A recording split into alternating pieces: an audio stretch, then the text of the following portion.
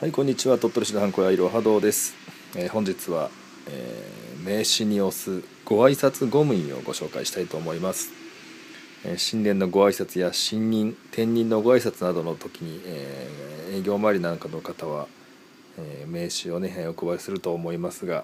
そういった際に使用されるご挨拶ゴム印ですね、えいろんな種類のものを取り揃えております。